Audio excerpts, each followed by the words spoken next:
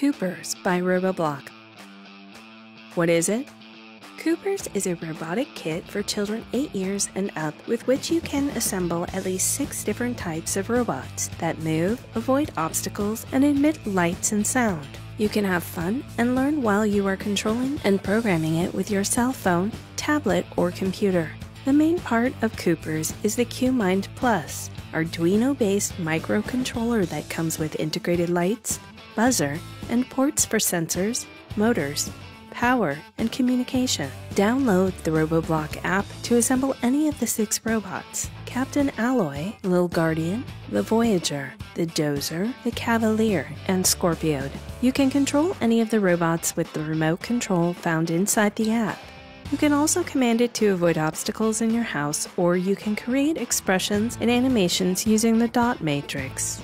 You can also program it with a drag and drop graphical interface.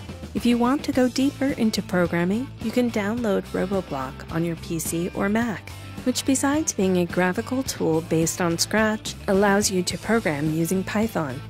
Who is it for?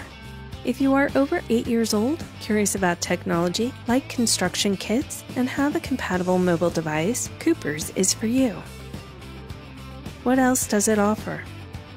The Qoopers kit comes with 174 pieces, such as the QMind Plus, an ultrasonic proximity sensor, an LED screen, two motors, USB cable, wheels, tracks for the wheels, mechanical parts, and tools.